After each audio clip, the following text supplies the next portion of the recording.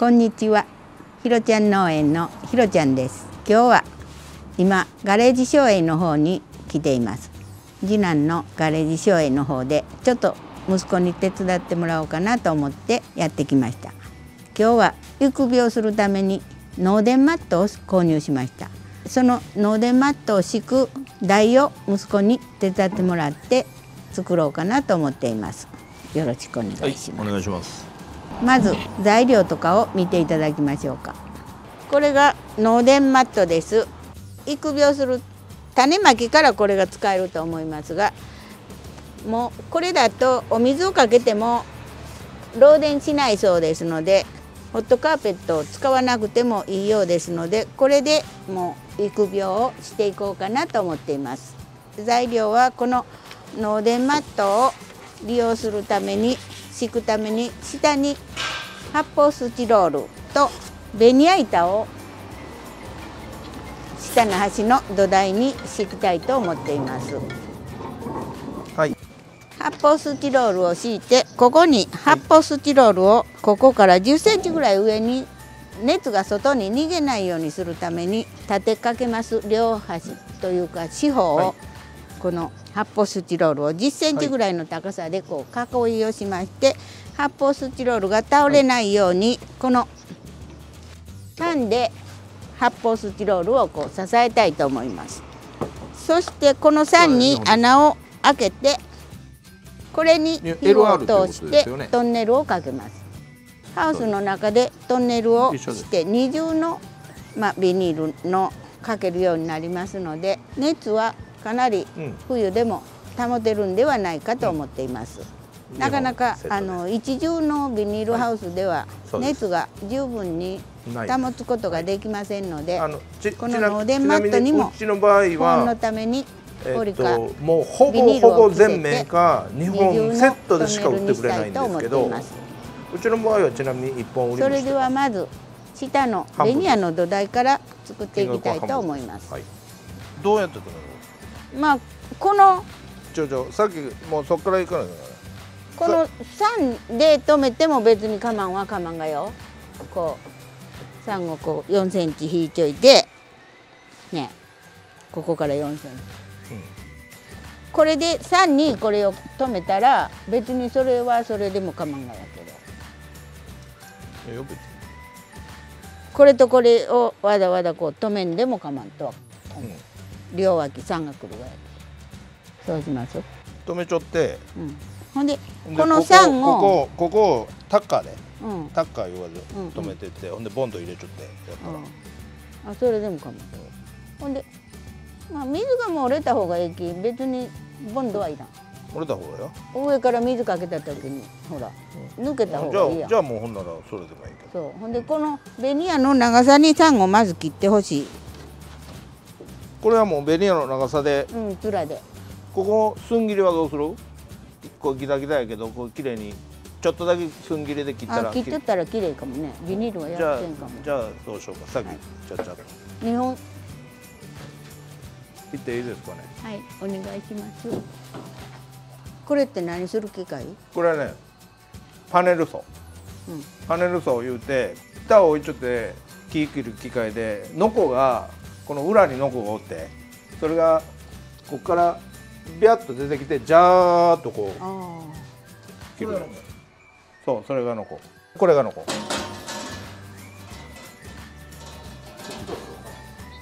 え？こっちからこれがのこはい。でこれでうん。三号切っていい？うん。スイッチ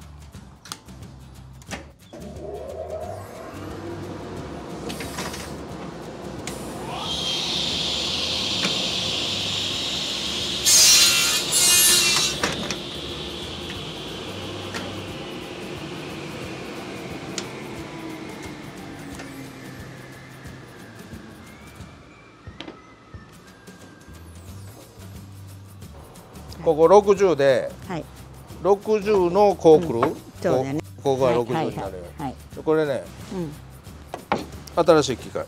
丸かった。はい。これ、まあ、ここ60に合わせて、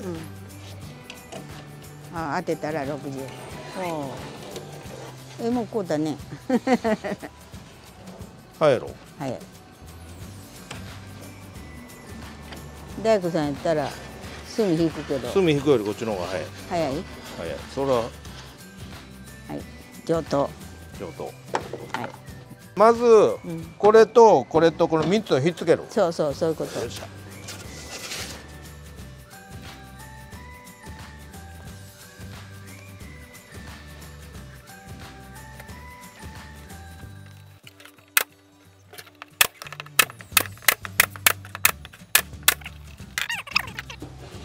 それは何しようかちょっと説明してくれん？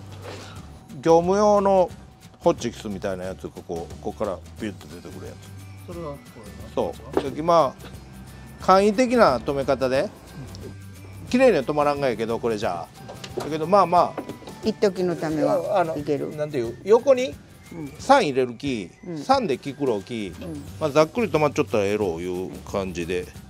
そのボンドは？これはね木工用ボンドやけどタイトボンドを言うてカチカチに固まるボンド。あの白ボンド普通に売りよ小西ボンド白い。あれはね固まらんがよ。カチカチにならんがよ。ネバネバあのなんていうネバネバというかこうゴム状にしか固まらんきこれがね密着が悪い。カチカチに固まるき密着がいいってこと。そうそうそう。全然違う。これアメリカ製なんやけど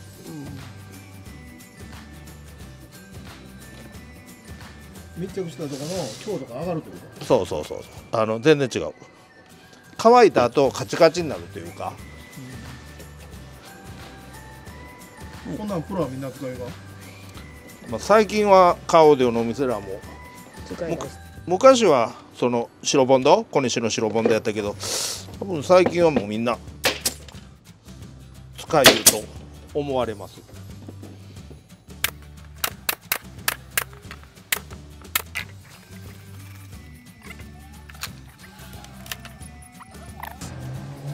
それそっちやないこっち。ねというのはこれを待って。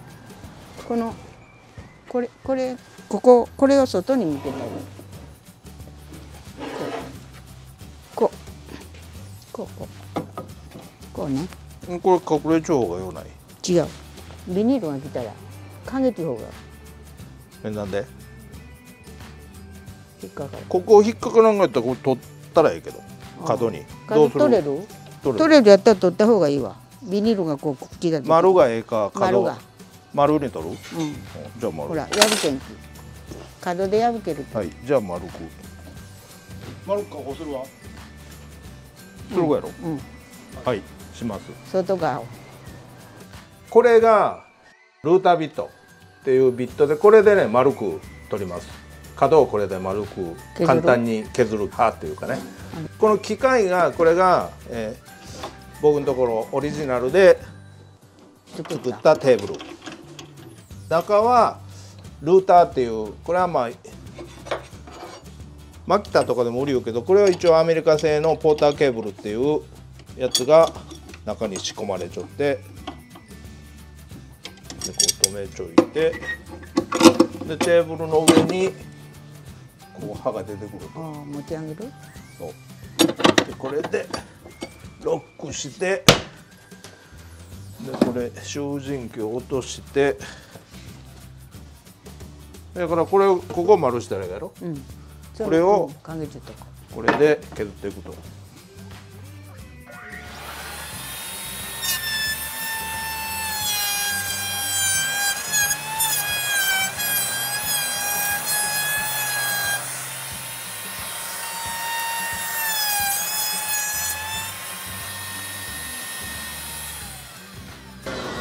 こうういう感じええもんがで、できるもんやね。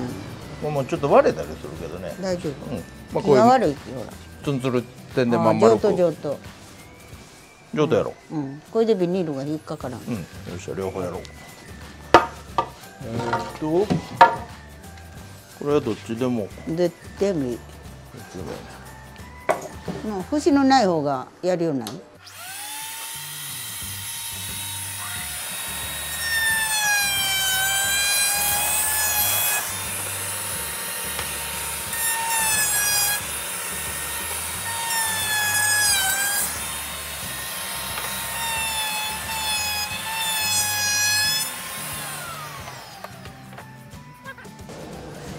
上等です。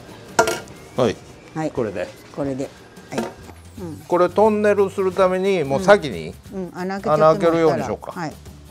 45.4ええわそれで。40センチぐらい？45センチぐらい、ちょうどで割ったらええやんその。うん。うん、今計算したからちょうどで印つけてたらえなんぼやった？で450やないか。450ちょうどやった？454やけど450 450よそっちからも450に振っていったらいいやないか。はいはい。え違う、まあやってみて。はい。はい。これ450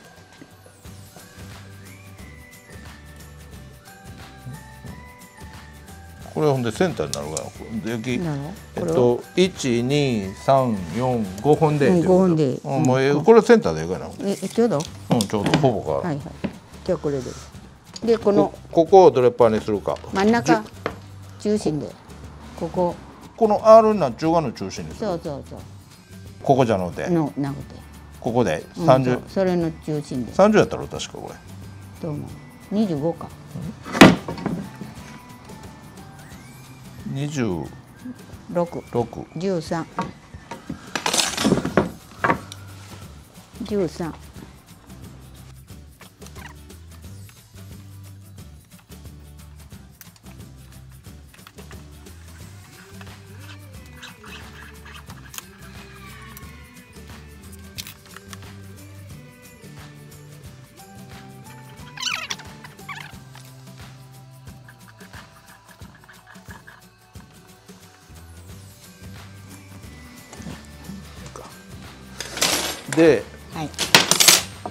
これがそれよりちょっと大きめがいい。6ミリ。うん。ほんなら7ミリか7 8ミリ。7ミリ。そんな8太いミリでもかも。ね。そんな太いの？するそう。ちょっと差しよい方がいいやん。こ5センチ入るがやき大丈夫それは？8ミリ。うんそれでいい。もうこれでいく？8ミリで開けても割れんの割れんと思うけど下の上げちょっとこれいこうか。ポールが何ミリ。6ミリ7ミリはないが探したらあるかもしれないまあ初めてよ8でいいやん。8でいいですか、うん8でいいです。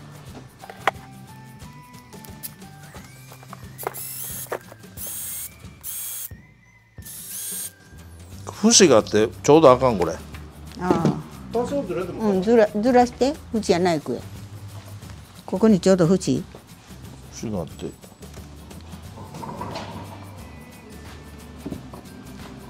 もう硬い縁があったら少々ずれてもええがやき。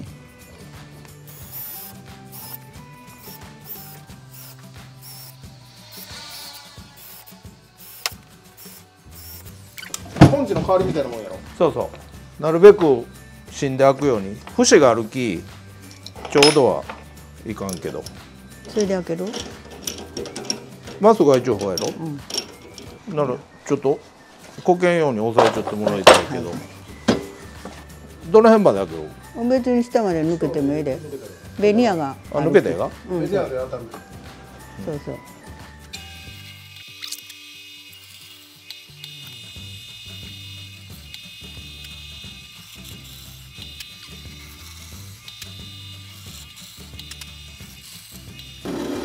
上等、私がやったらこんなにまっすぐはいか。ん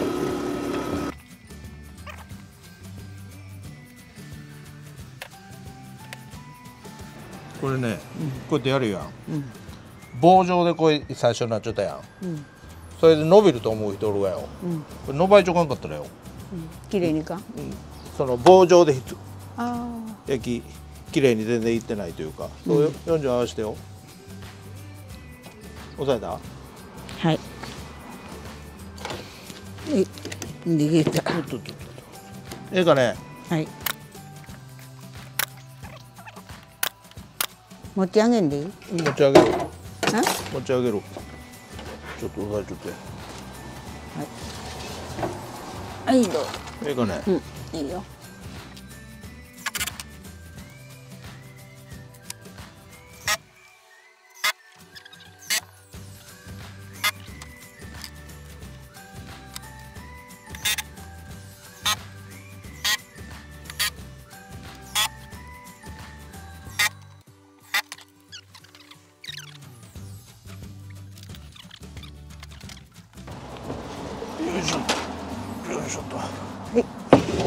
はい。はいそれでこの発泡スチロールをまず半分に切ってもらうたら、左右多少変わってもええやろ。うん、それはかっちりにはよば少々。は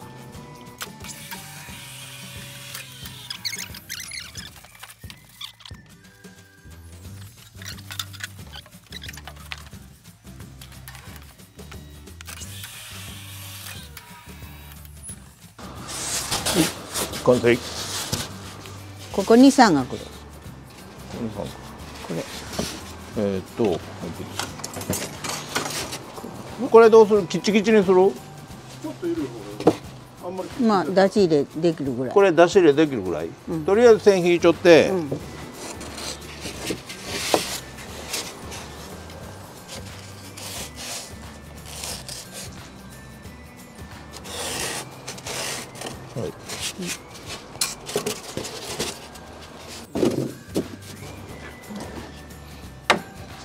これどれっぱにするか。見れば引いちゃったらね。に見れば引いちょくあんなもんでいいこれぐらい？え？もうちょい引いてもかもここも聞いてるしどうする？もうちょい引いてもいい、ガボガボはでいい？うん、は出入りしやすいぐらい。それぐらいそれぐらい。これぐらい？うん。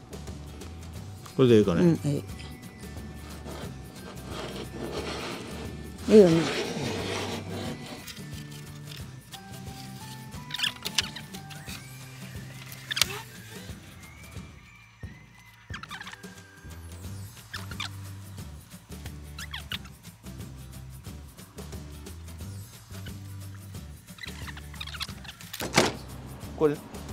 ネイラネイラっていうなんていう釘を打つ機械というか簡易的なあの針を打つみたいな感じの機械。大工さんらがね使う機械なんやけど。仮止めはいけるけど本決めまではちょっと。やっぱりネジで打たな止まらんというかね、丈夫に止めようとしたらね。そう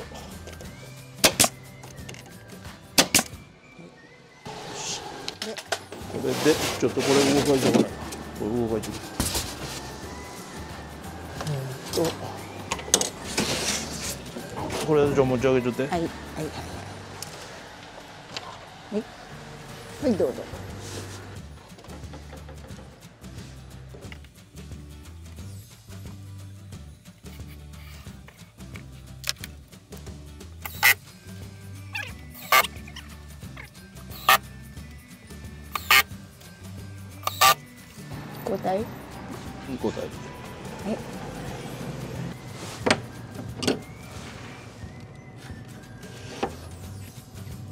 このね印つけるがあるやん。うん。ちょっとしたことやけど、これはついちゅうかついちゃせんかね、うん。もう全然綺麗に仕事ができるかどうか。うん。全然違う。あそう。鉛筆の印のこと？そう鉛筆。ほんでこの真ん中？真ん中らやったらこう適当にやるように見えるけど大体こう振りで合わせて。うん。これは親父になるたやつかもしれんねでこれらやったら両縁打っちょってうん両縁打っちょってでそれの目分量になるけどそれの真ん中打つ？それのまた真ん中打ったら綺麗にいくというかね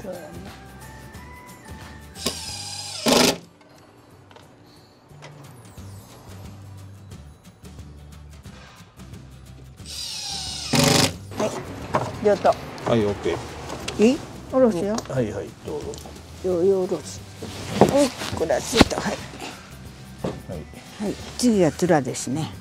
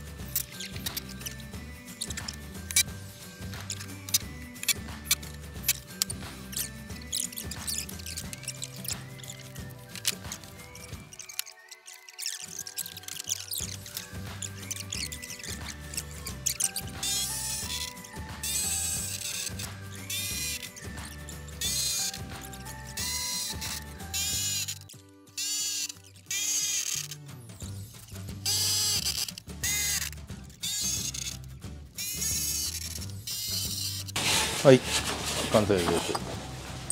ガレージ塩絵で箱を作ってもらってハウスの中に持ってきました。下にこのカゴを2段積んでその上にこのシーコンの鉄があったので台にしました。輪に。そして作ってもらった木枠をここに上に乗せましてその中に発泡スチロールをまず入れます。そしてここに四隅に発泡スチロールを立てます。このように。これはこの発泡スチロールを立てるのは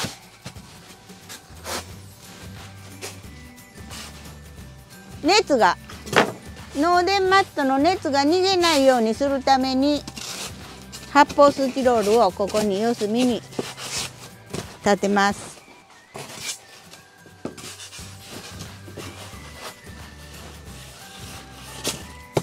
これで四隅に発泡スチロールを立ててこれでこの上に脳電マットを敷きます。まず脳電マットを持ってきます。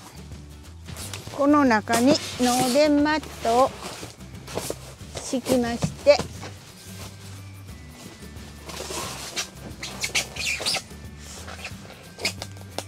ここにサーモンをここにかけてさ線を刺したいと思います。この上に育苗箱を置くんですがこのマルチのポリをここに敷いてそれであとは完成です。何のためにポリを敷くわ？これが汚れる木。